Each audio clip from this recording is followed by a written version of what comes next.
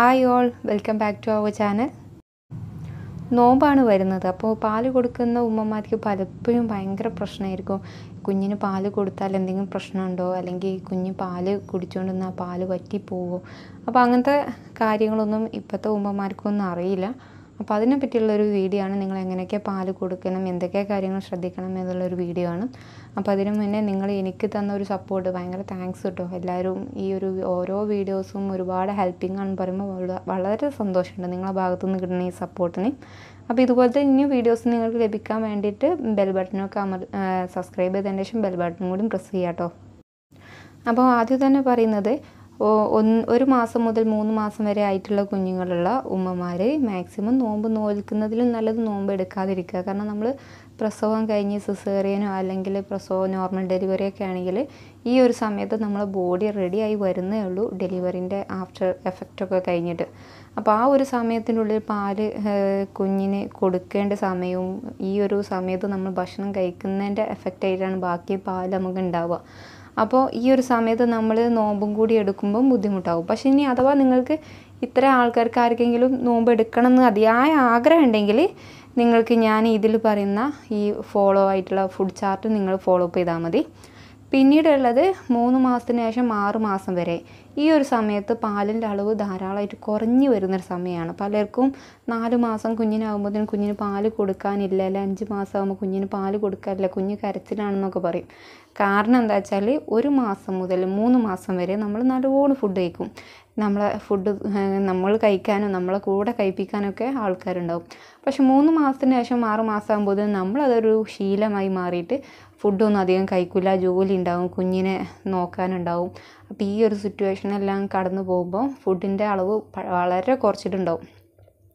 അപ്പോൾ മാക്സിമം ഈ ഒരു സമയങ്ങളിൽ ഫുഡ് നല്ലോണം കഴിക്കുക എന്നുള്ളതാണ് ഏറ്റവും ഇമ്പോർട്ടന്റ് അപ്പോൾ ഫുഡ് നമ്മൾ കഴിക്കുമ്പോൾ സാധാരണ ഫുഡൊന്നും കഴിച്ചാൽ പോരാ. നല്ല പ്രോട്ടീൻ ആയിട്ടുള്ള ഫുഡ് കഴിക്കണം. പതിനഞ്ച് ഗ്ലാസ് വെള്ളം കുടിക്കണം ജ്യൂസ് കുടിക്കണം കുറുക്ക് കുടിക്കണം സൂപ്പ് ഉണ്ടാക്കി കുടിക്കണം. ഇങ്ങനത്തെ പ്രോട്ടീൻ കണ്ടന്റ് ആയിട്ടുള്ള ഓരോ ഫുഡ് കഴിക്കുന്നതോട് കൂടിയാണ് നമുക്ക് കുഞ്ഞിന് ആ ഒരു പാലിനും പ്രോട്ടീൻ കണ്ടന്റ് കൂടുള്ളൂ. അല്ലാതെ എപ്പോഴും ചോറ് തിന്നു കഴിഞ്ഞാൽ തടി അങ്ങനെ കൂടുക എന്നല്ലാതെ പാലിന്റെ ആ ഒരു പാലിൽ പ്രത്യേകിച്ച് ഒരു പ്രോട്ടീൻ കണ്ടന്റ് കൂടാൻ ചാൻസ് ഇല്ല. അപ്പോൾ എന്ത് കഴിക്കുന്നു അതാണ് ഇമ്പോർട്ടന്റ് അപ്പോൾ ഈ ഒരു മാസ അളവിൽ മാക്സിമം ഫുഡ് കഴിക്കുക എന്നുള്ളതാണ് ഇമ്പോർട്ടന്റ് അപ്പോൾ ഈ രാവിലെ നമ്മൾ നോമ്പ് നോൽക്കുന്നതോട് കൂടി രാവിലെ ടു വൈകുന്നേരം വരെ പട്ടിണിയായിരിക്കും. പോരാത്ത ഇപ്പോഴത്തെ ചൂടും ഭയങ്കര ചൂടാണല്ലോ. അപ്പോൾ പാലിന്റെ ശരീരത്ത് വെള്ളത്തിന്റെ അളവ് കുറഞ്ഞുകൊണ്ടിരിക്കും. പിന്നെ രാവിലെ കുഞ്ഞ് പാൽ കുടിക്കുമ്പോൾ നമ്മൾ ശരീരത്തിൽ നിന്ന് വീണ്ടും വെള്ളത്തിന്റെ അംശം കുറയാണ്. അപ്പോൾ ഇതിനൊക്കെയുള്ള വെള്ളം നമ്മൾ രാത്രി കുടിക്കാൻ പറ്റണം. ഓക്കെ?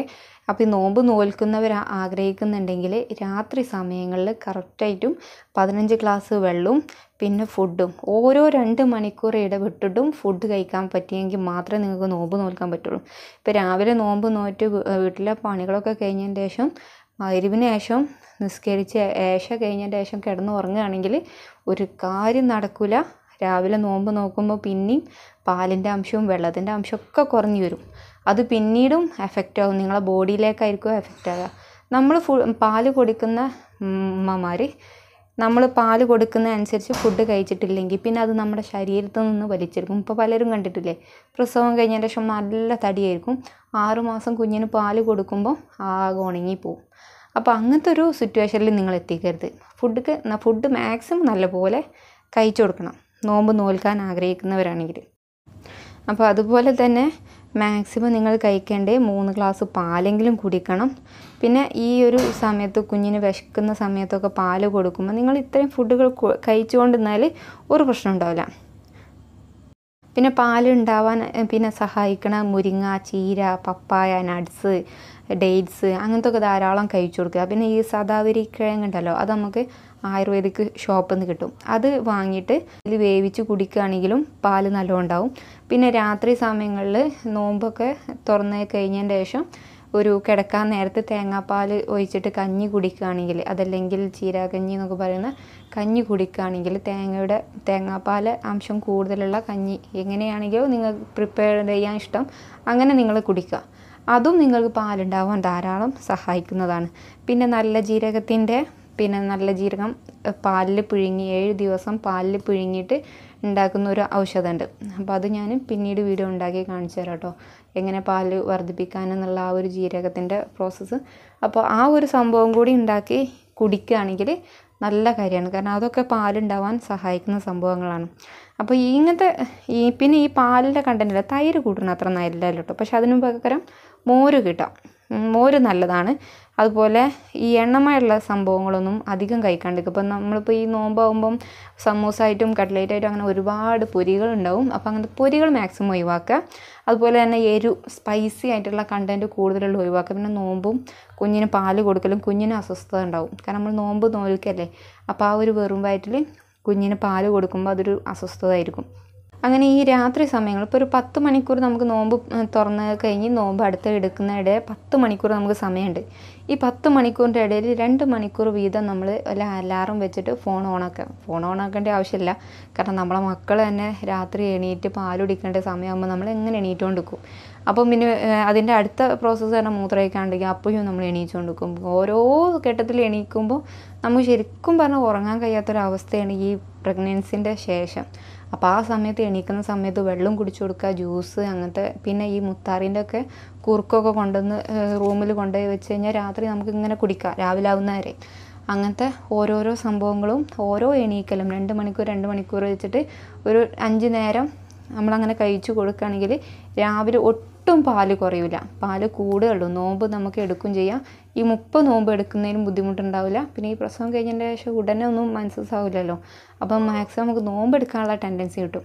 പിന്നെ നിങ്ങൾ നിങ്ങൾ പ്രകാരം അല്ലെങ്കിൽ നിങ്ങൾ മക്കൾക്കും വേണ്ടി നോമ്പ് ഒഴിവാക്കുകയാണെങ്കിൽ പിന്നെ അത് മുദ്തെടുക്കേണ്ട ഒരു അവസ്ഥയിലേക്ക് പിന്നെ അങ്ങനത്തെ ഒരു ബുദ്ധിമുട്ട് ഫീൽ ചെയ്യുകയാണെങ്കിൽ തീർച്ചയായിട്ടും നിങ്ങൾ നോമ്പ് ഒഴിവാക്കുക നല്ല കേട്ടോ. നോമ്പ് നോറ്റ് വീട്ടാലോ പിന്നീട്. ഒരു ആറ് മാസമൊക്കെ കഴിഞ്ഞ കുട്ടികളുള്ള ഉമ്മമാരൊക്കെ ആണെങ്കിൽ നിങ്ങൾക്ക് റിസ്ക് എടുക്കണ്ട. നിങ്ങളെ ആരോഗ്യവും നിങ്ങളെ കുഞ്ഞിന്റെ ആരോഗ്യമൊക്കെ ശ്രദ്ധിച്ചിട്ട് നോമ്പ് പറ്റാൽ മതി. കാരണം ഇസ്ലാം അതിനൊക്കെ നമുക്ക് വിട്ടുവീഴ്ച ചെയ്ത് തന്നിട്ടുണ്ട്. അപ്പം നിങ്ങൾക്ക് ഇതുവരെ തന്ന ഇൻഫർമേഷൻ ഹെൽപ്പിംഗ് ആവുമെന്ന് വിചാരിക്കുന്നു. ഇനി നിങ്ങൾക്ക് എന്തെങ്കിലും സംശയം ഉണ്ടെങ്കിൽ താഴെ കമന്റ് ബോക്സിൽ അറിയിക്കാട്ടോ. ഇനി അഥവാ ഈ വീഡിയോ ഇഷ്ടപ്പെട്ടാൽ ലൈക്ക് ചെയ്യാനും നിങ്ങളുടെ ഫ്രണ്ട്സിലേക്ക് ഷെയർ ചെയ്യാനും മറക്കരുത്. അപ്പോൾ ഇതുപോലുള്ള ഒരുപാട് വീഡിയോസിന് സബ്സ്ക്രൈബ് ചെയ്യാനും മറക്കരുത് കേട്ടോ. അപ്പോൾ നിങ്ങൾ ഈ നോമ്പും പെരുന്നാളും എല്ലാം നല്ല ഉഷാറായിട്ട് നിങ്ങൾ ആരോഗ്യത്തോടെ സന്തോഷത്തോടെ ഇരിക്കട്ടെ. അപ്പോൾ ഇതുപോലെ നിങ്ങൾക്ക് ഹെൽപ്പിംഗ് ആയിട്ടുള്ള മറ്റൊരു കണ്ടന്റുമായിട്ട് ഉടൻ വരുന്നതായിരിക്കും. Thank for watching have a nice day